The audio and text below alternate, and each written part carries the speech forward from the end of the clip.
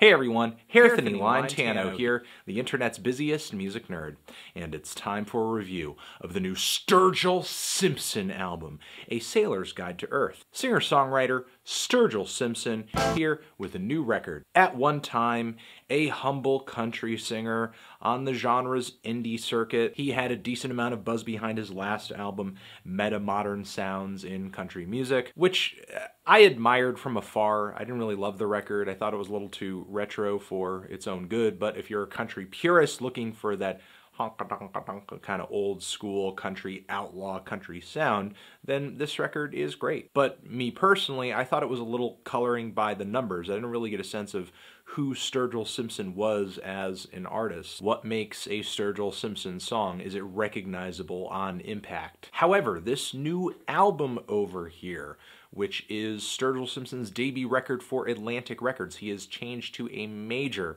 on this one. This album is leaving a much larger impression on me, and it's because it's so quality. And don't be scared by the fact that this is a country record coming out on a major record label. This is not your commercial cookie cutter country. It's actually diverse and layered, nuanced, and pretty refined. Occasionally, it's even soulful with its hot horn sections and funky drumming. He's not playing with an old school or a stereotypical country sound on this one. Some tracks have been slowed down into a very somber ballad style, elevated by lots of arranged instrumentation, especially string sections. The production, even though it sounds very expensive, it's pretty classy, it's pretty tasteful, and, and very rarely does Simpson's voice get lost in all the instrumentation. He comes through some pretty strong, passionate vocals that keep him as the center of attention.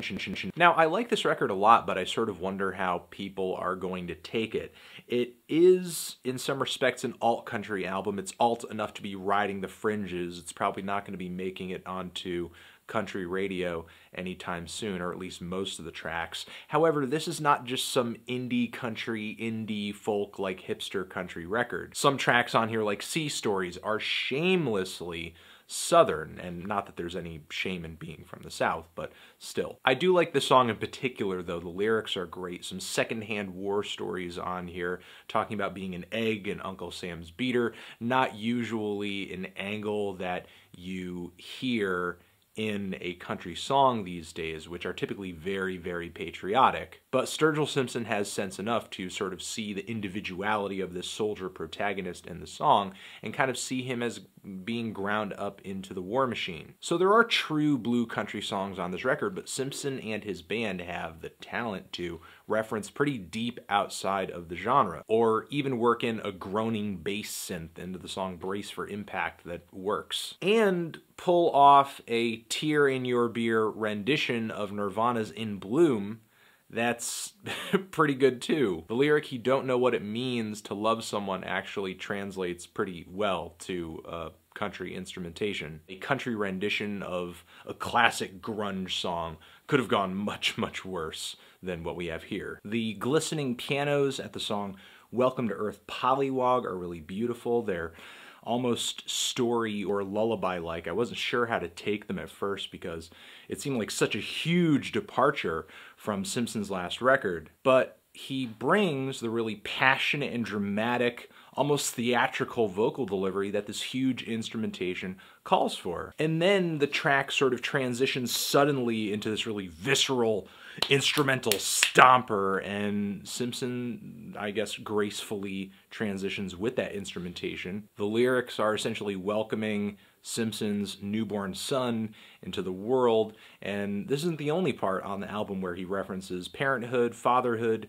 his grandfather, familial ties, uh, life lessons. That's what the song Keep It Between the Lines is essentially about, where the drums kind of make this track a, a funky country tune. Lyric after lyric, Simpson tries to drop all of this father to son insight, but this album isn't without its contradictions because just a few tracks later, uh, the message from the album is live a little. This track has an equally catchy guitar riff, but I do think it it is a little blander than some of the other cuts here. I think Simpson's vocals get lost in the uh, roaring guitars a bit, while the song All Around You is pretty much a straight soul song.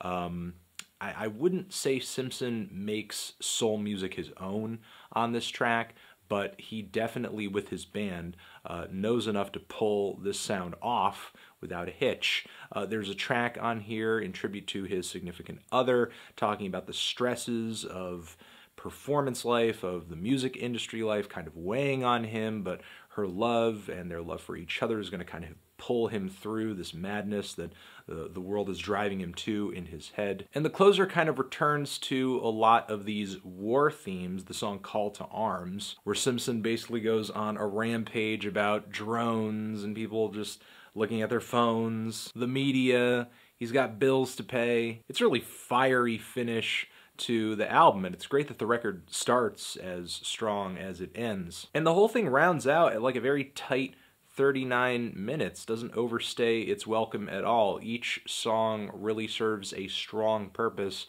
There's nothing on here that feels like filler to me. A few tracks that pale in comparison to others, but even the Nirvana cover here felt like essential to the flow of the record. This is a very consistent, quality, enjoyable country album with, again, a lot of great production, a lot of great instrumentation, nuance, stylistic diversity. He's pulling so far outside of the country genre sometimes, but he still kind of maintains that southern twang in his voice and his storytelling style. I'm feeling a strong 7 to a light 8 on this thing. Transition!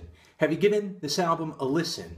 Did you love it? Did you hate it? What would you rate it? You're the best. You're the best. What should I review next? Hit that like if you like. Please subscribe or you'll die. Click on a video next to my head. If you want to see another video, have a nice day. Listen to this Sturgill Simpson album. Say your prayers, eat your vegetables, hug your mom forever.